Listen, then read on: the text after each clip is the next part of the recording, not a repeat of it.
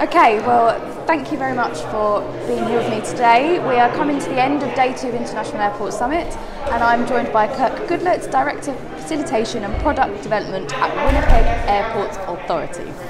Um, my first question to you, Kirk, is what would you tell emerging airports to capitalise on the most?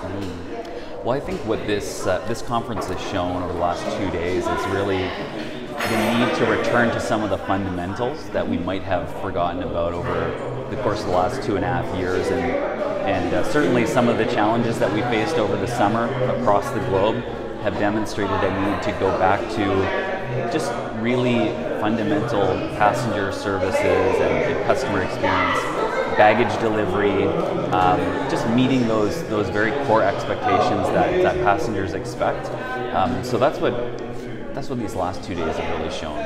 Absolutely. So, in terms of sustainability, would you say it's important for the passenger to understand the fundamental sustainability initiatives of an airport um, and things like carbon offsettings? Would you say it's a crucial part of of becoming sustainable as an industry? Certainly, I think that's a that's a very important part. Uh, sustainability needs to be baked into the way in which we communicate with our, our communities the way in which we communicate with our, our customers, uh, airline stakeholders, government agencies. Uh, it needs to be baked into everything that we do.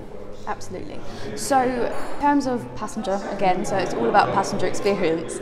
Um, what should airports really be focusing on to take that passenger experience to that next level? Mm. Well, I've already said go back to the basics yep. in terms of. Uh, you know, reliability, predictability.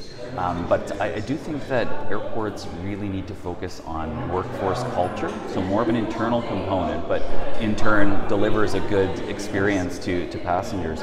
Um, we need to focus on building a resilient workforce and a, and a resilient culture, and I think those two are, are really fundamental for us, and certainly challenges with which we're all grappling. Absolutely.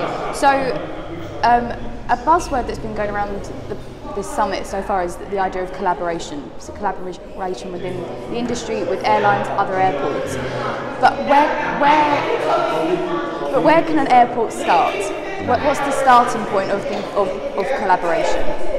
Well, I, I, think there are, there are so many stakeholders in this very complex uh, system and, and, and uh, the aviation sector. So it really does start with your, your customers, airlines, and, and stakeholders within your airport, but of course your community. You, you need to have a social license to operate, and so the community in which you're located is, is uh, certainly an incredibly important stakeholder.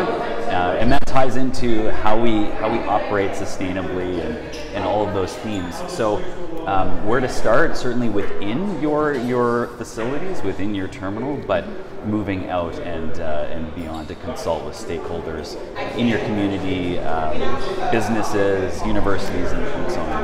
Absolutely. And my final question is what's a key takeaway from the summit so far that you will go back to your airport and think we should be doing this?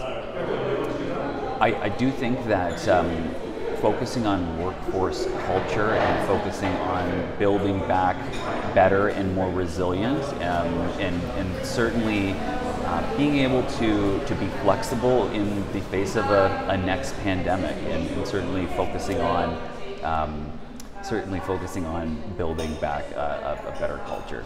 Absolutely. Well, thank you very much for your time today. Thank, thank you. you.